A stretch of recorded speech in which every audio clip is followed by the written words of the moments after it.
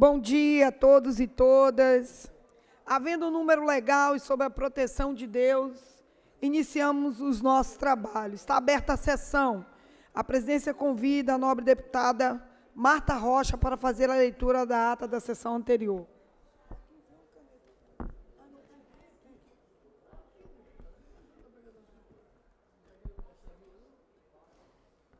Senhora presidente, bom dia. A ata reflete com exatidão o ocorrido na 74ª sessão ordinária, que iniciada às 14 horas foi encerrada às 17 horas e 30 minutos. Lida e aprovada a ata, passa-se a ordem do dia. Sessão extraordinária do dia 31 de outubro de 2024. Em tramitação ordinária em, segunda discussão, redação do vencido assim emendada. Projeto de lei número 4185-A de 2018, de autoria da deputada Marta Rocha, que dispõe sobre a obrigatoriedade e os proprietários ou responsáveis por estabelecimentos comerciais, bem como síndicos de condomínio e proprietários de imóveis, residenciais ou não, estabelecidos no Estado do Rio de Janeiro, comunicarem a experiência e a localização de sistema Ah, sim, resistente. E a localização de sistema de monitoramento por meio de câmeras de vias públicas. Em discussão, não havendo quem queira discutir, encerrada a discussão. A presente proposta recebeu cinco emendas. Quer discutir, deputada? Cinco emendas e retorna às comissões. Presidente, é, eu sempre aceito com muita tranquilidade as emendas, porque acho que as emendas, por certo, poderão é, contribuir com o aprimoramento do projeto.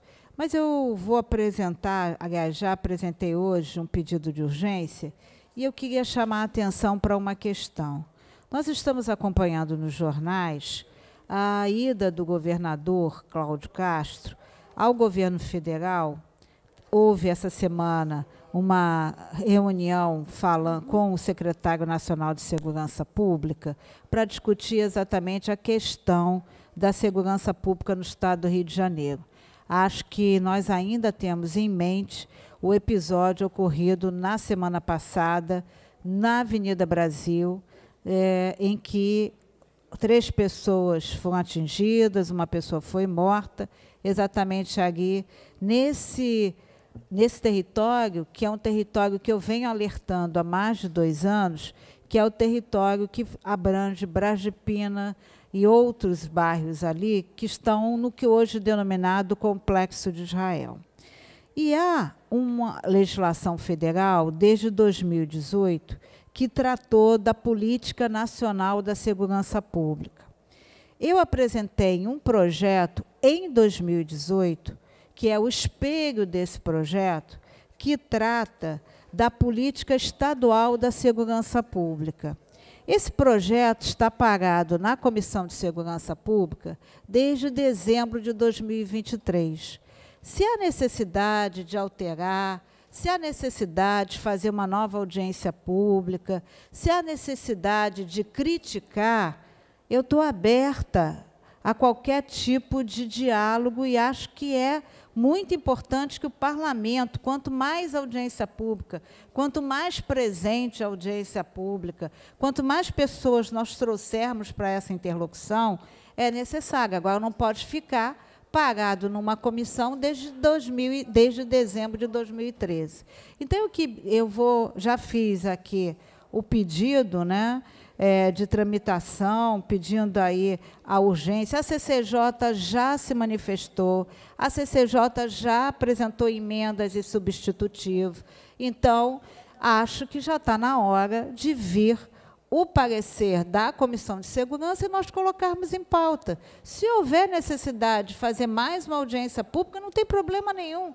Nós faremos essa audiência pública. Agora, a Assembleia não, se pode, não pode se calar diante desse fato e se recusar a apreciar um projeto que está adormecido numa comissão temática da importância da Comissão de Segurança.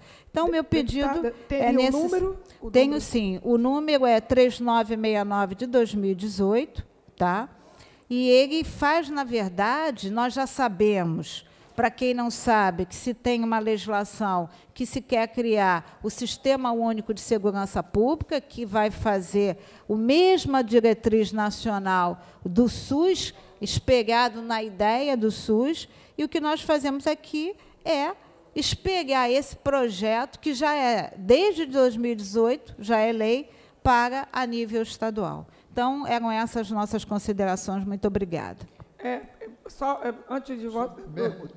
Sobre o mesmo tema. É, é, deputada Marta Rocha, também podíamos, já que tem acontecido isso, até com projetos meus também, que param nas comissões, ou alguém pede vistas e passa do prazo, é pedir a inclusão na ordem do dia, para que Sim, faça essa provocação. Exatamente, foi exatamente isso que eu fiz, Isso. porque eu acho o seguinte, não é possível que se fique parado numa comissão, pediu vista, está perfeito, apresentou emenda, está Uhum. Perfeito, pediu retorno à CCJ para avaliar, está perfeito. Agora, não pode, Pode ficar parado. ficar parado e deixar esse, e a gente aqui ocupar a pauta com medalha, com outras, outros temas que não têm não a relevância que tem um tema como esse. Deputado Luiz Paulo, concordo com presidente. Vossa Excelência, deputada Marta Rocha. Ainda em relação à fala da deputada Marta Rocha, eu queria aqui fazer duas observações. Primeiro, que o regimento interno dá o prazo de 30 dias para as comissões se pronunciarem. Se não se pronunciar em 30 dias, está mais do que claro a possibilidade de trazer direto ao plenário. né? Para isso, existe regimento interno. O que não pode, tem toda a razão a deputada Marta Rocha, é a comissão sentar em cima de um projeto e não decidir. Até porque, se não gosta do projeto, acha ele ruim, no mérito, vote contrário. E o plenário é soberano para decidir. né? Então, tem razão a deputada Marta Rocha, ainda mais se tratando no tema segurança pública. Mas também acho o projeto da pauta de hoje importante, que já está em segunda discussão, redação do vencido. Deputada Marta Rocha, eu mesmo já fiz isso diversas vezes, nunca eh, reluta em acatar emendas. Então, poderia também trazer esse projeto à pauta já na semana que vem, né, porque já está mais do que debatido, está mais dis- discutido, e é um tema relevante também, que é a nossa segurança pública. A senhora veja, governador do Estado foi chamado com outros governadores para discutir com o presidente da República a PEC do Sistema Único de Segurança Pública, né? SUSP, que é uma PEC, em tese, mais centralizadora né? no poder da União. O governador deu uma entrevista no Bom Dia Rio, acho que foi ontem, né, deputado Marta Rocha? Acho que foi ontem, falando da necessidade do Estado ter autonomia para legislar sobre segurança pública, que é o oposto desta discussão de hoje. Mas o tema segurança pública, ele está claro. Eu diria que os temas, dois, os dois temas mais relevantes do Estado hoje são finanças públicas e segurança pública. Então era hora de fazer uma pauta com esses dois, dois temas. O segundo turno já acabou. Aliás, senhora presidente, queria saber de Vossa Excelência, hoje é 31 de outubro. Eu quero programar minha agenda de quinta-feira que vem. Queria saber se o expediente, a ordem do dia, vai ser de manhã, à tarde ou à noite. Porque o prazo acaba hoje. Vou consultar, hoje eu vinha pensando até nisso, deputado Luiz Paulo, vou consultar a, pre- a presidência, através do presidente Rodrigo Bacelar, para a questão da deliberação do retorno ou não do horário eh, dessa sessão. Presidente, eu queria apenas fazer uma consulta, porque verdadeiramente fiquei com essa dúvida. É, queria pedir ao Marquinho que pudesse me atender também. É porque foram apresentadas cinco emendas e nós já estamos na redação do vencido. Eu queria saber se é factível, porque esse é um tema que não foi ainda sedimentado. Eu queria saber se é possível apresentar ou não emendas no período da redação do vencido.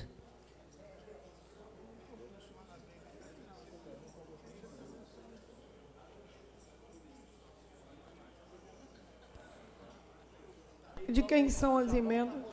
Tá certo. Então, fazer essa ponderação aqui. Eu já vi decisões diferentes, mas vou acatar a decisão. É, fazer apenas a ponderação que ele retorne. Muito Na obrigada, próxima. presidente. Obrigada, deputada. Anunci... É, a, a presente proposta recebeu cinco emendas e retorna às comissões.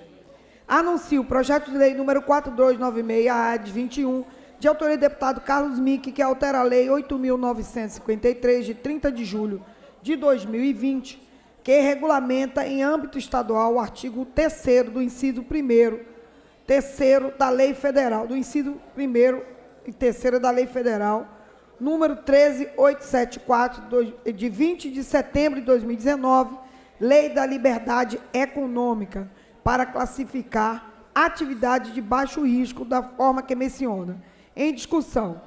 Não, não havendo quem queira discutir, encerrada a discussão, em votação. Senhores que aprovam, permaneçam como estão. Aprovado, vai autógrafo para declaração, declaração de voto. Se for discutir, eu vou colocar uma emenda. Brincadeira, deputado Carlos Mick. Pede verificação de coro. Já, já foi votado, Vossa Excelência atrasou, deputado Luiz Paulo. É, Deputada Tia Ju, presidente do Poder Legislativo do Rio de Janeiro. Vossa Excelência não ia achar que eu ia me calar depois que o deputado Luiz Paulo disse que eu tinha voltado à fase oral, é, ainda mais um projeto de minha autoria. É, é primeiro, deputada Tia Ju, para agradecer Vossa Excelência e todos os deputados pela aprovação, vou falar só uma palavrinha que muitos não devem saber exatamente o que a gente acabou de votar, que ia aprovar. Foi para autógrafo eu espero que o governador sancione, deputada Marta Rocha, até porque há um, um documento da Superintendência de Resíduos Sólidos e Economia Circular, da Secretaria Estadual eh, do Ambiente e Sustentabilidade, a SEAS, apoiando o projeto. Ou seja, o governo está apoiando esse projeto. Na verdade, o que, que eu fiz? Há uma lei federal, chamada da Liberdade Econômica, que classifica várias atividades de baixo risco e, portanto, simplifica as exigências para elas funcionarem. Então, deputada Dani Balbi, deputado Josemar, deputada Érica. Então, houve uma lei estadual que regulamentou essa lei federal, que no fundo é para desburocratizar, facilitar a vida de várias atividades que não têm grandes impactos ambientais, sociais, econômicos, para elas mais rapidamente, mais facilmente possam se desenvolver. Então, nós temos a lei federal e uma lei estadual que a regulamenta. Essa minha lei modifica a lei estadual e acrescenta as cooperativas de catadores e catadoras de materiais recicláveis, porque a lei estadual, que está aqui, ela rola, deputada Tia Ju, dezenas e dezenas de atividades consideradas de baixo risco. Cabeleireiro, chaveiro, comércio disso, comércio daquilo, são páginas, páginas. E isso significa que essas atividades muito mais facilmente podem ser licenciadas, regulamentadas, funcionar, menos custo, menos alvará, deputada Tiaju, senador Marquinho, menos burocracia pelas funcionárias. E esqueceram as cooperativas de catadores e catadoras de materiais reciclados. Vossas Excelências sabem que há muitos e muitos anos eu defendo e legislo a favor das cooperativas, da reciclagem. Há muitos anos fizemos a lei é, da economia circular, também chamada logística reversa. Eu não gosto, deputada Élica, do nome logística reversa, que parece que é uma loja de cabeça para baixo. Eu prefiro economia circular, que mostra, deputada Dani Balbi, que o que a gente quer, transformar lixo em nova matéria-prima. Então, por uma falha, por um esquecimento, tinham esquecido exatamente as nossas cooperativas dos catadores e catadores. Então, essa nossa lei que a gente acabou de aprovar, e eu tenho certeza que será sancionada, ela apenas acrescenta as cooperativas de catadores como atividade de baixo risco, portanto, se beneficiando da desburocratização, da facilidade para elas poderem realmente operar. Muitas vezes, uma prefeitura, uma da, já estou terminando, Tia Ju, uma prefeitura que, por causa da nossa lei de economia circular, professor Josemar, deveriam contratar as cooperativas. Muitas vezes, deputada Dani Balbi, não contratam porque alegam que ah, falta tal documento, falta tal outro, não contratam as cooperativas para melhorar a coleta seletiva, a coleta domiciliar. Com essa lei aprovada, vai simplificar a vida das cooperativas e das prefeituras que querem contratar cooperativas para melhorar a coleta seletiva, que, aliás, conta ponto no ICMS verde. As prefeituras que avançam mais com a coleta seletiva ganham din-din a mais. Então é isso, deputada Tia Ju. Queria agradecer a todos, ter certeza que será sancionada. Vou dar boa notícia para os nossos amigos das cooperativas e brevemente faremos o cúmplice da lei para ver se todo mundo está cumprindo mesmo. Obrigado.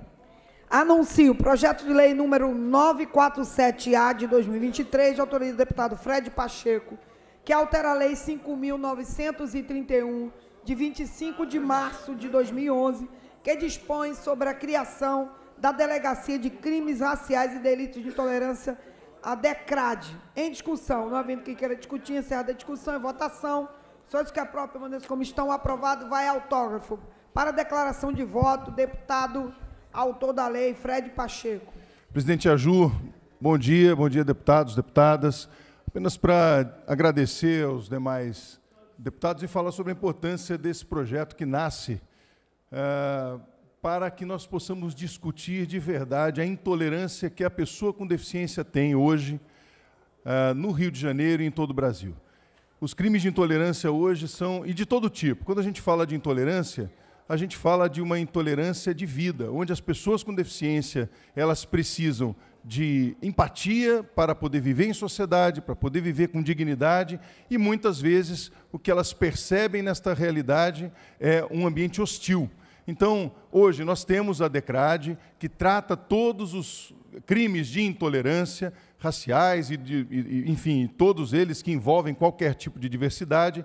Então entendemos que o DECRAD também poderia ser efetivamente uma delegacia para atender os crimes de intolerância para pessoas com deficiência. E para é, ampliar ainda mais essa discussão, quero dizer e chamar a, a atenção aqui do meu querido amigo eco-espiritual, deputado Carlos Mink, e dizer que juntos ampliamos essa visão, né, deputado? Tivemos essa discussão, inclusive, na, na CCJ, onde juntos fizemos um novo projeto de lei para ampliar ainda mais a acessibilidade a todas as delegacias do Rio de Janeiro. Porque é isso que nós precisamos, que todas as delegacias estejam prontas para atender a pessoa com deficiência, sejam acessíveis, sejam capazes, treinadas para atender a pessoa com deficiência em todas as suas dimensões. Então aqui é mais uma ação concreta para proteger as pessoas com deficiência e impedir qualquer tipo de intolerância. Muito obrigado, Tia Ju. Deputado, declarar voto? Claro, fui citado. Fui citado. Fui citado favoravelmente. favoravelmente. Não, primeiro, elogiar o deputado Fred Pacheco por esse projeto. É, o, a lei original que criou a DECRAD, do deputado Átila, nós ficamos cinco anos fazendo compras para funcionar. Depois que ela começou a funcionar, nós sempre votamos verbas orçamentárias, porque é muito pequena. Depois fizemos com a deputada Marta e outros deputados o projeto para internalizar a DECAD, porque a DECAD é muito boa, mas é pequena. Inclusive, esse ano, 2024, tem emenda minha para a DECRAD, para melhorar a DECRAD e tal. O deputado Fred Pacheco, ele vê que tem pessoa, muitas pessoas que têm é, deficiência e não sabem realmente qual é a delegacia que vai lhes ouvir, acompanhar seus casos, evitar a discriminação. E fez muito bem. A gente teve uma discussão na CCJ e, produto dessa discussão, como bem lembrou agora o deputado Fred Pacheco, nós fizemos um projeto conjunto que diz que todas as delegacias têm que ter ampla acessibilidade para todas as pessoas com qualquer tipo de deficiência. Ele já foi declarado constitucional, está tramitando. Vamos pedir, inclusive, a inclusão em pauta, porque não vejo que vai haver grande polêmica, até porque seria inacreditável, deputada Tiaju, que para uh, metrô, para hospital, tenha que ter a acessibilidade e para as delegacias do poder público não haja garantia. Há muitas delegacias que têm e muitas que não têm acessibilidade. Então, a gente ultrapassou a questão da DECRAD e esse nosso projeto, que espero que brevemente vá a voto, garante essa acessibilidade para todas as delegacias. Obrigada. Anuncio projeto de lei número 3288-A de 2024, de autoria da deputada Tia Ju, que altera a lei número 8.421, de 19 de junho de 2019, em que fica o Poder Executivo autorizado a implantar dispositivo eletrônico de segurança preventiva, conhecido como botão de pânico, nas unidades escolares da rede estadual de ensino. Em discussão, não havendo quem queira discutir, encerrada a discussão, em votação, senhores que aprovam, permaneçam como estão, aprovado, vai a autógrafo. Anuncio, em segunda discussão, redação do vencido, projeto de lei número 1914A de 2023, de autoria da deputada Verônica Lima, que declara como patrimônio cultural e material do Estado do Rio de Janeiro o Museu Nacional. Em discussão, não havendo quem queira discutir, encerrada a discussão e votação. Senhores que aprovam, permaneçam como estão, aprovado, vai autógrafo. Anuncio o projeto de lei número 2626A de 2023, de autoria do deputado Tiago Galhaço, que dispõe sobre a divulgação de canais de denúncia informativos no interior de elevadores sobre crime de violência doméstica e intrafamiliar contra a mulher e da outras providências. Em discussão, não havendo quem queira discutir, encerrada a discussão e votação. Senhores que aprovam, permaneçam como estão. Aprovado, é autógrafo.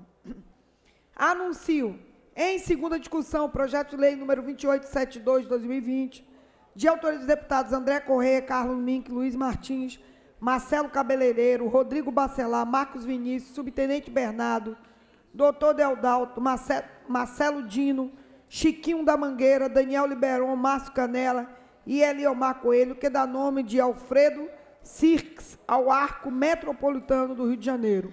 Em discussão, não havendo quem queira discutir, encerrada a discussão. A presente proposta a receber para discutir, deputado Luiz Paulo. Senhora presidente, é o seguinte: Lei 6.191, de 30 de março de 2012, dá denominação ao arco rodoviário metropolitano do Rio de Janeiro de Engenheiro Leonel de Moura Brizola. Razão pela qual para conciliar a proposta de diversos parlamentares de homenagear o nosso querido Alfredo Sirquis, eu emendei para que pudesse ser o arco se chamar Leonel de Moura Brizola e Alfredo Sirquis, porque senão esta estaria prejudicada pela anterior. Por isso a emenda, senhora presidente. Está emendado. A, a, proposta recebeu duas emendas. Não, só aqui para comentar, deputado Luiz Paulo.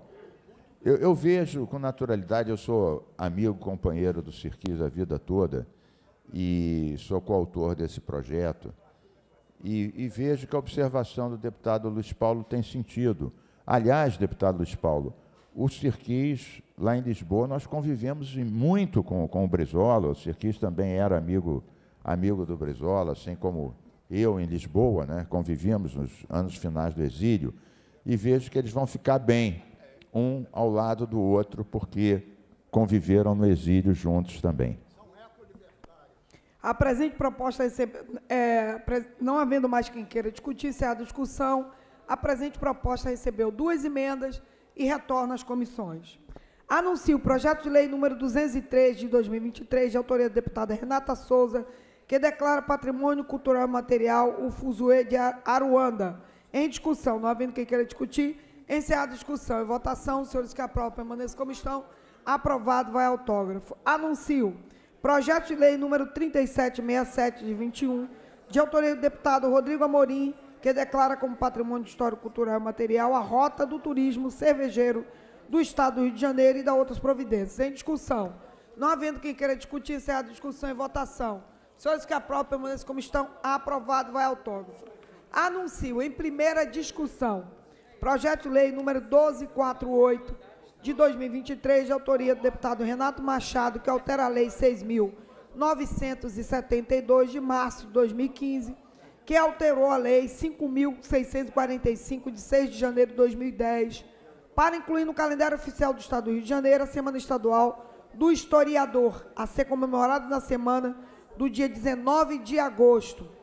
Pareceres das comissões de Constituição e Justiça pela legalidade, cultura favorável, com emenda de assuntos municipais e desenvolvimento regional favorável. Relator, deputado Rodrigo Amorim, Tande Vieira e do, é, doutor Pedro Ricardo. Em discussão, não havendo quem queira discutir, encerrada a discussão, a presidente proposta recebeu quatro emendas e retorna às comissões.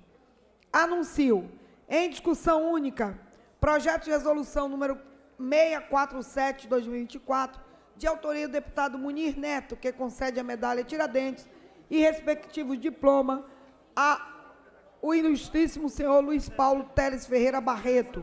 Pareceres das comissões normas internas proposições externas, favorável. Relator, deputado Fred Pacheco. Em discussão. Não havendo quem queira discutir, encerrada a discussão e votação, senhores que aprovam, como estão, aprovado, vai à promulgação. Para a declaração de voto, deputado Munir Neto. Bom dia, nossa autor. presidente Tiaju. Saudações Alvinegra, Botafogo na final da Libertadores. Eu queria agradecer aqui a todos os deputados e deputadas que votaram favorável a esse projeto de resolução.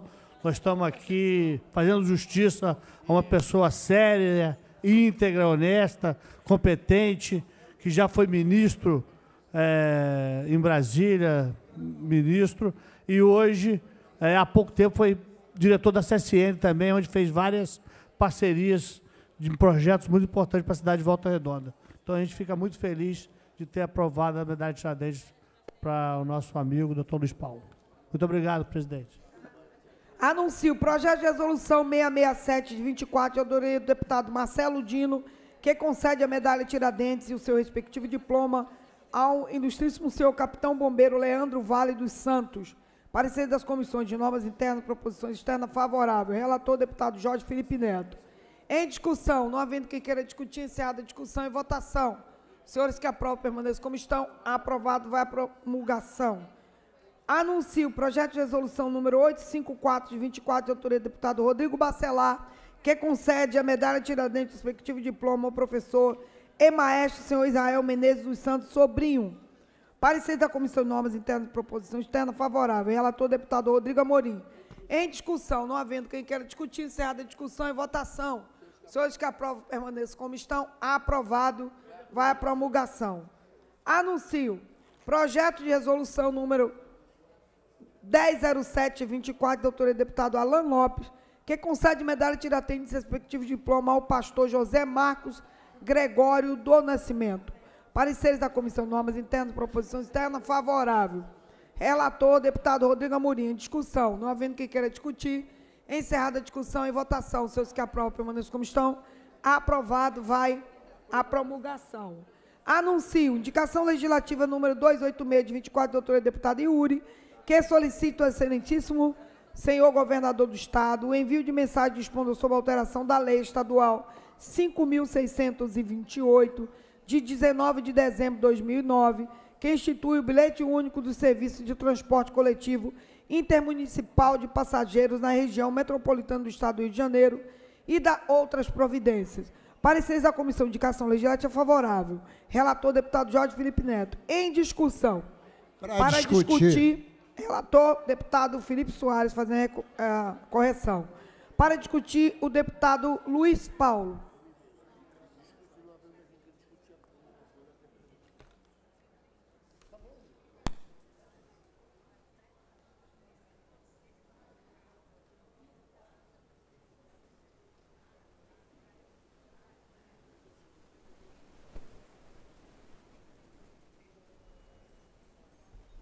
Senhora presidente, pretende o ilustre deputado Yuri, do PSOL,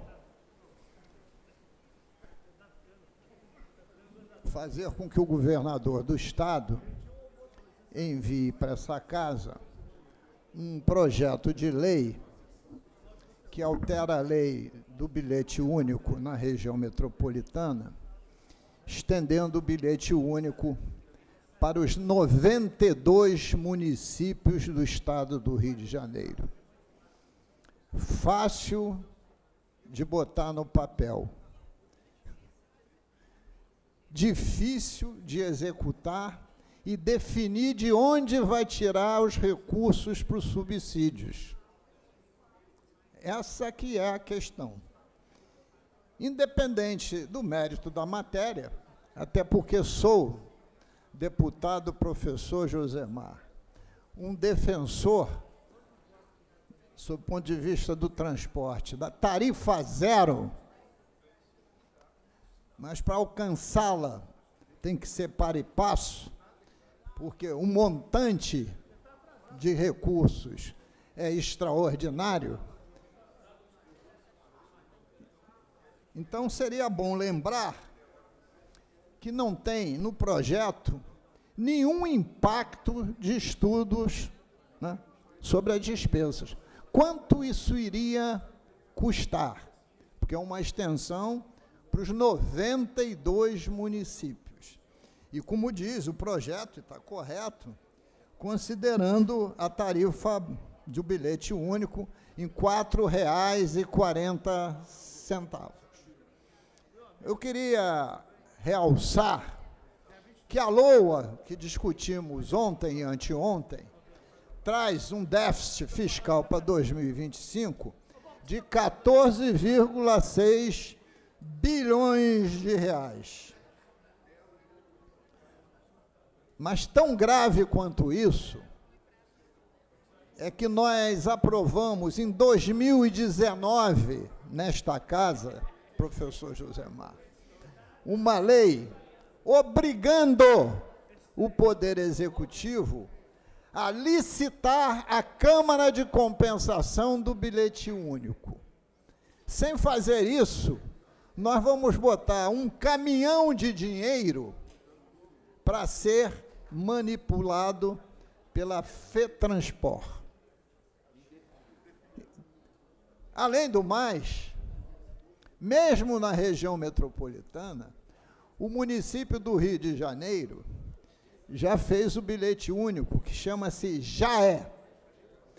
E até agora, o governo do Estado, via Secretaria de Transporte, não licitou a Câmara de Compensação, então não integra com o JAE.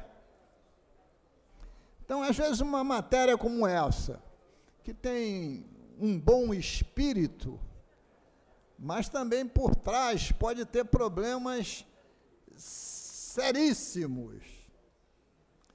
E eu, por exemplo, não vou concordar que a Câmara de Compensação continue sendo gerida pela FETransport, porque não houve licitação. Faz licitação. E olha, não é lei nova, é de 2019 já se passaram cinco anos. Deputado, me concede um rápido à parte? Perfeitamente, deputado Carlos Mendes. Eu estava ouvindo suas palavras e me lembrei que realmente Vossa Excelência levantou, participei desse debate, que nós tínhamos, essa é a minha memória, entendi que Vossa Excelência está se referindo a isso. Nós tínhamos dito que não poderia ser a própria Fé Transport a ser a gestora de algo que lhe diz respeito, e realmente os contribuintes é que pagam. E, e, daqui a pouco quem vai fazer a compensação é uma parte interessada. A gente não aprovou uma lei vetando que fosse ela a fazer, a, a que está à frente dessa compensação e dessa regulação? Deputado Carlos Mendes, nós temos uma lei de 19 que obriga o governo do Estado a licitar, só que tem quem não licita. Tem ações da defensoria, tem matéria jornalista, já teve o diabo sobre isso. mas o governo, o governo do Estado reluta em fazer essa licitação. Né? Então, como é que eu posso. O que eu estou aqui dizendo? Não consegue entregar o bilhete único metropolitano com bilhete único municipal, já é, porque o Estado não licita. Como é que eu vou estender isso para os 92 municípios se você não tem esta Câmara de Compensação gerida por processo licitatório? Se não quer fazer o processo licitatório, designa o Estado para ser o gestor. Né? Designa o Estado para ser o gestor. Mas não na mão do ente privado. Porque, evidentemente, a Câmara de Compensação é como se fosse um cartório. Todo mês rende para quem administra a Câmara de Compensação. Então, eu resolvi discutir a matéria, porque caberia aí ao autor, deputado Yuri, pegar a lei que obriga a fazer a licitação e dar ênfase sobre esse tema. Né? E eu resolvi chamar a atenção sobre, sobre essa questão, porque o momento é de a gente ter cautela com as despesas e continuar a apertar o governo para aumentar as receitas, porque ele também se coloca quase de braços cruzados em relação a tantos projetos que tem nessa casa que poderia aumentar a receita e ele não age. Parece que a gente está vivendo um conto de carochinha, um conto de carochinha. E ano após ano, o orçamento vem acusando o déficit, apontando que a gente está à beira de um precipício. Muito obrigado, senhor presidente. Não havendo mais quem queira discutir, esta discussão, a presente proposta recebeu uma emenda e retorna às comissões. Anuncio, incluído na ordem do dia, de acordo com o inciso 1 do artigo 47 do Regimento Interno, em tramitação ordinária em primeira discussão, projeto de lei número 3121 de 2024, de autoria do, da deputada Marina do MST, que dispõe sobre atendimento especializado às mulheres no estado é, de climatério ou menopausa, nos postos de saúde e hospitais públicos de administração estadual no âmbito do Estado do Rio de Janeiro. Parecer das comissões de Constituição e Justiça pela Juridicidade com emenda. De, é, relatora, deputada Élica Takimoto. Pendente de pareceres da, das comissões Defesa do Direito da Mulher, Saúde, Orçamento, Finanças, Fiscalização Financeira e Controle. Para emitir parecer pela Comissão dos Direitos da Mulher, deputado de, eu, deputada Tia Ju, parecer favorável acompanhando a CCJ. Pela Comissão de Saúde, deputado Tandy Vieira. Deputado Felipe Pobel. Deputada Marta Rocha.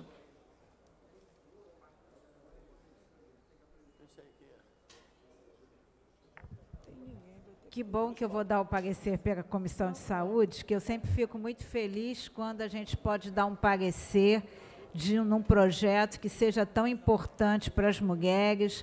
Essa questão do climatério ou da menopausa é uma questão muito sensível. Então, em boa hora, a deputada Marina do MST, que é autora de tantas outras outros projetos importantes, dispõe sobre essa necessidade de um atendimento específico, cuidadoso, né, sensível a ser destinado às mulheres nessas condições nos hospitais públicos de administração estadual no âmbito do Estado do Rio de Janeiro. Então, meu parecer é favorável. Com os, pela Comissão de Orçamento, Finanças, Fiscalização Financeira e Controle, deputado Luiz Paulo. Senhora presidente, desde que eu li esse projeto, entre emendas que, puder, que ele pode receber, eu fiquei assim, desejoso de fazer uma, além de outras. Mas resolvi aqui sugerir a deputada Marina do MST, para preservar a emenda, que ela também fizesse o atendimento especializado aos homens no estado de andropausa. O pau que bate em Maria, bate em Chico também. E, só que tem que. Andropausa, os homens não são tão claramente afetados, mas também atinge aos homens. Eles têm dificuldade de reconhecer, né? reconhecer.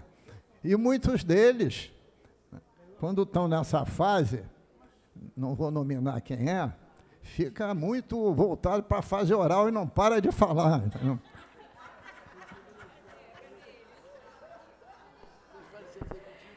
A carapuça caia na cabeça de quem couber. Ele nem ouviu. Deputada Carla Machado. Eu quero, senhora presidente, eu quero parabenizar a iniciativa da Marina. Né? É muito importante esse cuidado com a mulher nessa fase da vida, que atravessa a menopausa, a disfunção hormonal ocasiona várias doenças. Então, nada é, é mais importante que esse cuidado. E eu parabenizar a minha colega, e eu concordo com o deputado Luiz Paulo, né? E acredito que ele esteja falando em nome de todos, né? Todos os homens, independente da idade que esteja, que estejam na fase da andropausa. A Marta falou ali que ele estava advogando em causa própria. Mas não é só ele, não. Ele está advogando, né, Marta? Na causa de milhares de homens, né, de centenas de milhares de homens que nós temos aqui no estado do Rio de Janeiro. Muito Bem, obrigada. Bendito pelo eh, deputado Luiz Paulo. Senhora eh, os presidente. homens têm dificuldade de assumir. As mulheres já dizem mesmo, estou entrando na menopausa, estou na pré-menopausa. Os Eu homens tenho- ficam falando pelos cotovelos, inclusive Eu pelo tenho- telefone. Eu tenho 78 anos. Se eu achar que a andropausa não me atinge, eu seria um super-homem. Eu, pelo menos no plenário, eu largo o telefone para parar de falar, né? É, não havendo mais quem queira discutir, encerra a discussão em votação. Os senhores que aprovam. Ah, não, então para discutir. Deputada, para discutir. Deputada, Não, porque recebeu emenda, senão vai. É, presidenta, Tia Ju, eu vou. Como o projeto recebeu emendas, e eu também, inclusive, emendei para a gente melhorar o projeto, já levando em consideração várias propostas que foram feitas aqui.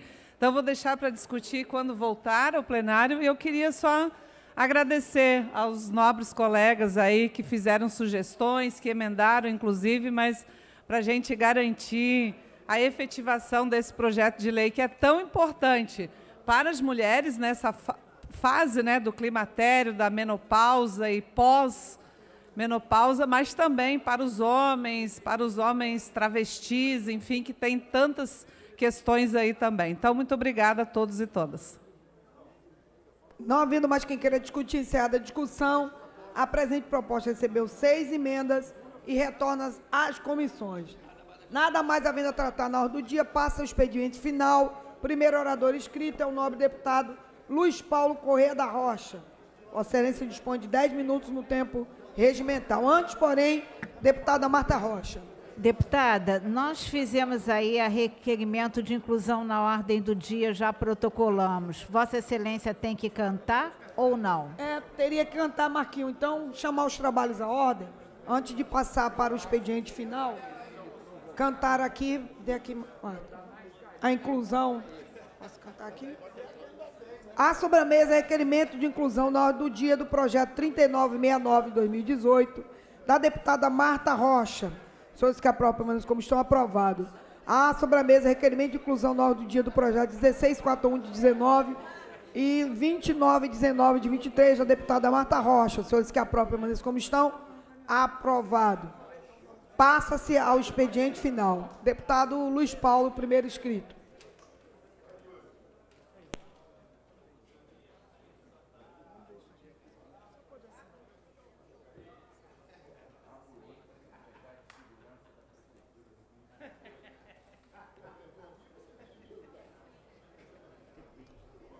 Senhora presidente, senhoras e senhores deputados, ainda presentes em plenário, senhora intérprete da língua de Libras, que leva a nossa voz aos deficientes auditivos. Senhora presidente, às vezes a gente tem que brincar um pouco, né? Para ficar o clima um pouco mais leve. Mas o que me traz aqui ao púlpito é exatamente a ida do governador a Brasília na quarta passada, ontem, e hoje, quinta-feira, para tratar de dois temas absolutamente relevantes, diria até que fundamentais para o estado do Rio de Janeiro hoje e amanhã. No dia de ontem, foi uma reunião com o ministro Toffoli sobre a questão da dívida do Estado com a União e a medida liminar do ministro Toffoli, que está, felizmente, fazendo que a gente pague de dívida por ano aquilo que pagamos em 2023, isto é, 4,9 bilhões de reais. E o ministro Toffoli, nesta audiência, reafirmou que daria 30 dias para que os estados buscassem uma solução que englobasse a todos, isto é, uma solução federativa. E esta solução federativa está tramitando no Congresso Nacional, que é o PLC 121 de 2024, de autoria do senador Rodrigo Pacheco, presidente do Senado. O Senado já aprovou com emendas e está na Câmara para ser pautado, para ser emendado, discutido e votado. O PLC 121 de 24 foi intitulado de Propag. O rótulo dele é Propag, que é o programa de pagamento pleno das dívidas dos, dos, dos estados com a União. E nesse projeto, mediante um rol, um elenco de exigências, os estados poderão ver seus juros reduzido a zero isto é, deixar de pagar IPCA mais 4 para pagar só a dívida principal corrigida pelo IPCA. Mas esse projeto tem um grave problema, porque ele trata os juros para frente e não rediscute os juros para trás. E se a gente calcular o pagamento da dívida hoje, mesmo com juros zero, será superior a 5 bilhões e meio de reais. Não é fácil fazer esse cálculo aqui na Assembleia, porque é um coletivo de empréstimos que tem que ser pagos. Mas, de qualquer jeito, sempre será um valor maior que 4,9 bi. Então, qual seria a solução ideal? Primeiro, que o Propaga, o PLC 121 de 24, fosse votado e sancionado, como é a intenção original do mesmo, até 31 de 12 de 24. A posteriori, os estados teriam quatro meses para aderirem. E alguns estados estão querendo mais tempo para poder se preparar para fazer os pagamentos e cumprir o rol de exigências do projeto. Então, a solução ideal seria se manter a liminar dos 4,9 bi, que a gente pagou já em 24, para ser o mesmo número para pagar em 25 e, a partir de 25, ingressar com juros calculados função do Propag. Cumpre dizer, senhora presidente, que no orçamento desse ano, desse déficit de 24 bilhões e 14 bilhões e 600, 11 bilhões e 600 aproximadamente estão previstos para o pagamento da dívida. Se a gente pagar 4,9, a gente está pagando menos do que a metade. Então, esse me parece um caminho. Mas uma questão é fundamental. Há que se rever também os juros já pagos, pelo menos até 1 de janeiro de 2013, que é a data que se mutou o critério de pagamento da dívida. Quando deixou-se de pagar a dívida pelo IGPDI mais 6 para o IPCA mais 4. E foi uma conquista feita no Congresso Nacional, liderada nacionalmente pelo prefeito de São Paulo, que na época era o ministro Haddad. Então, sobre a reunião de ontem. Essa é a síntese que eu acho a síntese ideal. Agora, o governo do Estado, deputada Marta Rocha, corretamente, está botando o dedo em cima daquilo que mais nos prejudica, que é o pagamento do serviço da dívida. Coisa que a gente faz aqui há muito tempo. Inclusive, na CPI da dívida de 2022, com uma série de propostas onde a gente escancarou esse problema. E só muito mais tarde é que o governo acordou. Mas também tem uma série de projetos de leis tramitando na casa que poderiam melhorar as nossas receitas e não são pautados. E parece que o executivo também não demonstra nenhum interesse. Se o executivo demonstrasse interesse, demandava a presidência da casa e os projetos seriam pautados. E dia sim, dia não, eu falo uma série deles. E não vou repetir hoje. Não vou repetir hoje para não expandir o meu tempo. Mas parece que está se vivendo tempos que a gente só se olha para o interesse político imediato e não se olha-se para o futuro. E o coração do Estado é a receita. Se não tivermos ampliação das nossas receitas, usando um linguajar lá da, do Nordeste, estamos lascados. Porque que, que adianta entrar, mudar governo? O que, que adianta sonhos políticos para ir para o cadafalso, para ir para o calabouço, para ir para o fundo do buraco?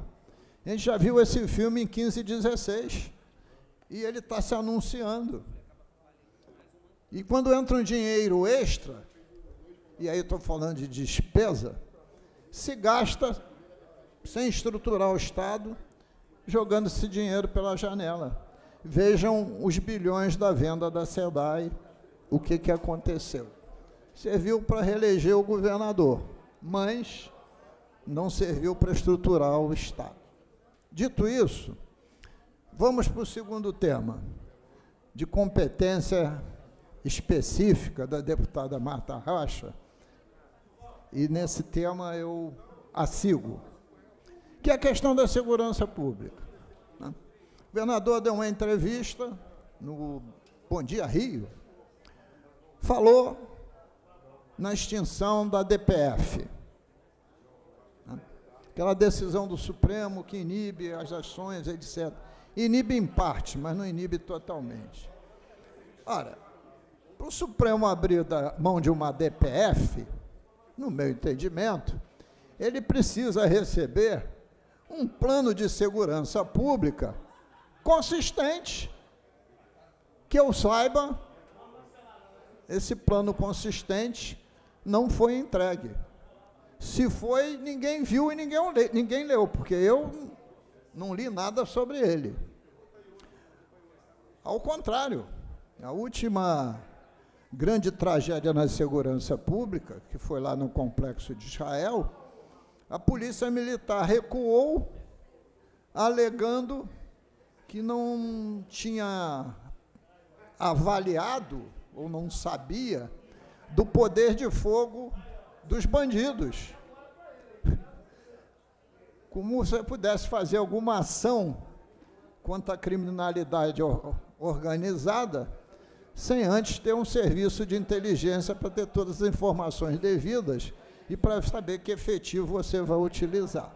Então, esse é um tema que para o Supremo decidir, extinguindo a DPF, precisa de um plano consistente de segurança pública. A liminar vai ser julgada, salvo erro de memória, dia 11, né, deputado? E o clima, o clima não está muito favorável. O segundo tema que o governador colocou, a necessidade dos estados legislarem sobre algumas questões da segurança pública, principalmente de agravamento de pena. A tese é oportuna. Ninguém nega que a tese não seja oportuna. Mas a reunião de Brasília hoje, que o convocada pelo presidente da República, é sobre a PEC do fundo, é, é, do, de um programa único de, de segurança pública, que dá mais poder, inclusive, à União, que tem aspectos positivos mas tem outros aspectos negativos. Só que tem que a PEC, não é ainda uma PEC, porque ainda está na mão do executivo. Mas, se o presidente da República chama os governadores, é porque ele está com intenção de discutir e apresentar. Né? Até porque o terceiro motivo que levou o governador à União, e ele é um motivo verdadeiro, Segurança pública é dever de todos, sem dúvida nenhuma. Da União, dos estados e dos municípios, cada um no seu nível de competência. E acho até interessante a postura do governador, porque acabamos de sair de eleições municipais. E eu vi aqui no Rio de Janeiro o candidato do governador, delegado da Polícia Federal, afirmar na campanha inteira, na campanha toda que ele fez para ser secretário de Segurança Pública, que como prefeito da cidade do Rio de Janeiro, ele ia resolver todos os problemas de segurança pública, que é exatamente o oposto do que o próprio governador está falando. E claro que o governador, nesse caso específico, tem razão. Né? Arma e droga, evidentemente, entra pelas fronteiras. Né?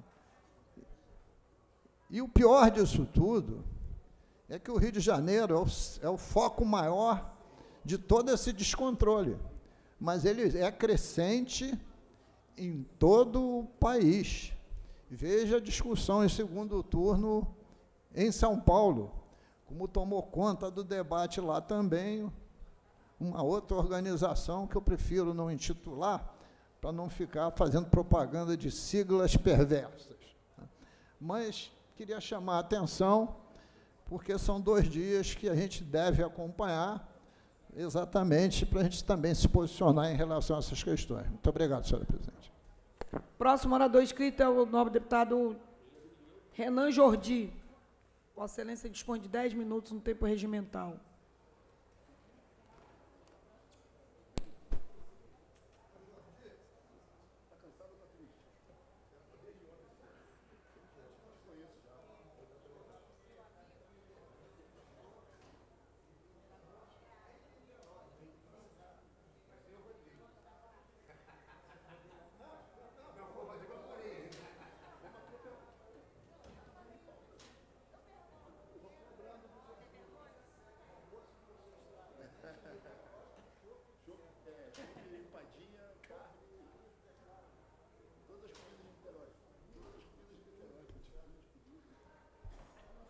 Bom dia, senhora presidente, tia Ju, bom dia, nobres e amigos deputados. Bom dia a todos aqueles que nos acompanham pela TV Alerge. Antes de iniciar a minha palavra, eu quero saudar a presença do meu amigo e prefeito reeleito de São José de Ubá, Jean. Parabéns por mais quatro anos. Tenha em mim um amigo de São José de Ubá. Bem, ao final de mais uma jornada eleitoral, esse ano, a jornada eleitoral dos municípios,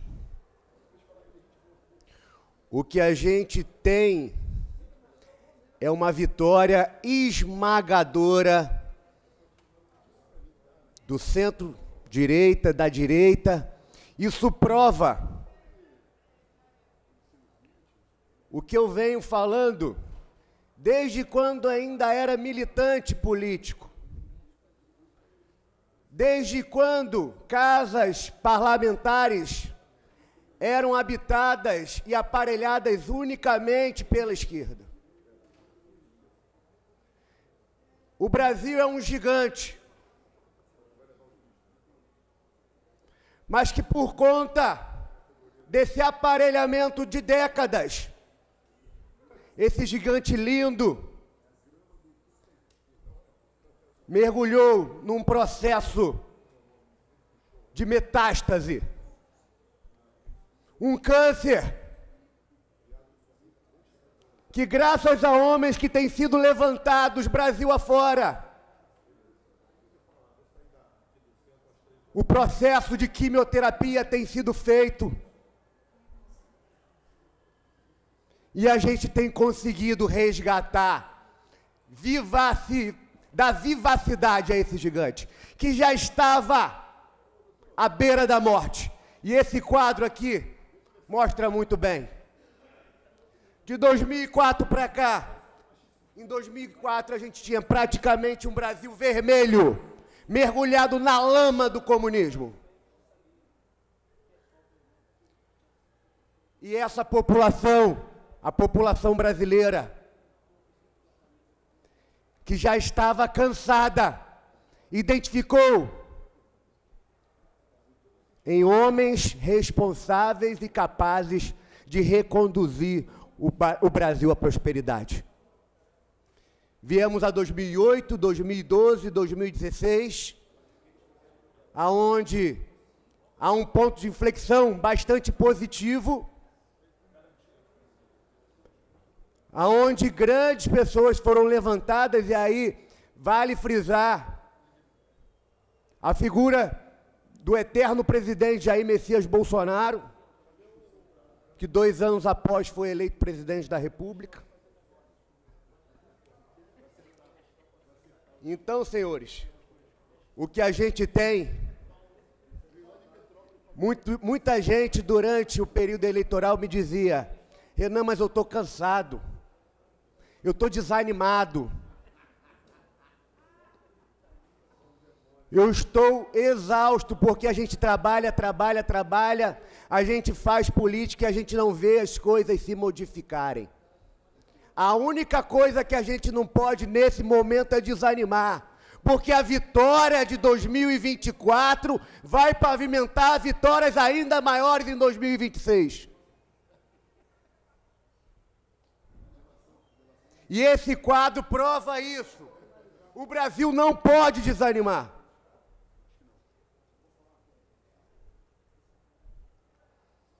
Em contrapartida, em especial a cidade de Niterói, por hora, por hora, senhores, logrou êxito aquele que opta pelo jogo sujo.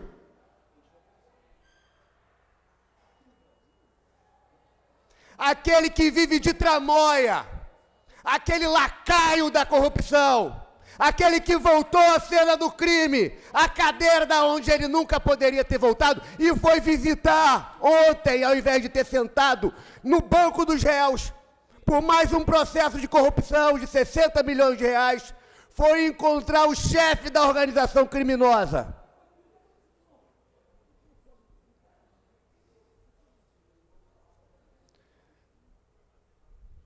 Nesta mesma casa,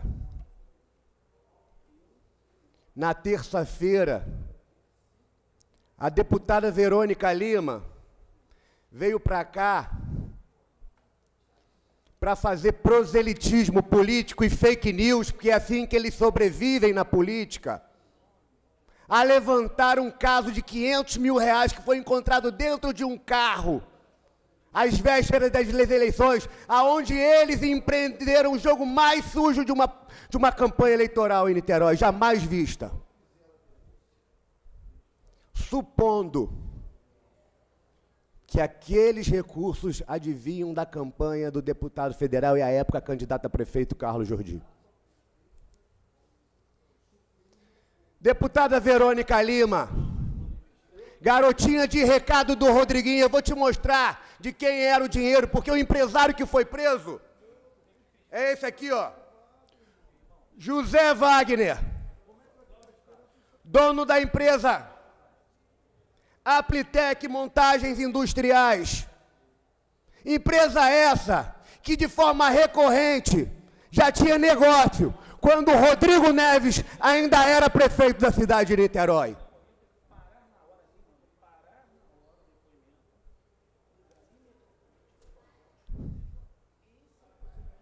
Infelizmente, em Niterói, logrou êxito por hora. Aquele que não gosta da cidade, aquele que recebeu como prêmio de consolação. As eleições. E loteou a prefeitura. E vendeu o orçamento da cidade pelos próximos quatro anos. E isso quem vai sofrer é o cidadão niteroense. É a cidade de Niterói. É aquele que visita a cidade de Niterói. É aquele que trabalha na cidade de Niterói.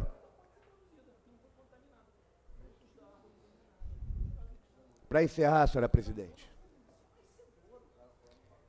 a vitória política no Brasil e também em Niterói, ela é inquestionável. Foram meses incansáveis de trabalho em torno de um projeto sério, um especial de Niterói, sério, sólido e próspero para a cidade.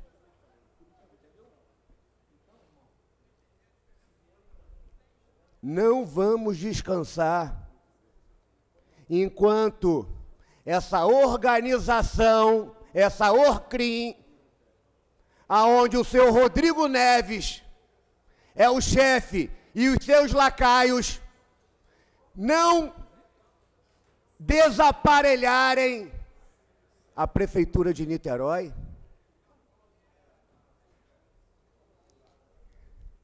para que a gente possa, de fato, empreender um projeto de resgate da autoestima, de vontade e de credo em um projeto político aonde leva o cidadão a sério e o coloque em primeiro lugar. Não vamos descansar, e eu digo isso como projeto de Brasil. 2024 pavimentou e será, sim, a grande mola propulsora para que a gente possa, em 2026, reconduzir alguém de bem para dentro do Palácio do Planalto, eleger ainda mais deputados estaduais e federais, senadores e governador, para que a gente possa resgatar esse gigante e dar vida e dar saúde a esse maravilhoso país chamado Brasil. Muito obrigado, senhora presidente. Não havendo mais oradores inscritos, a presidência declara encerrada a presente sessão, desejando a todos uma ótima tarde.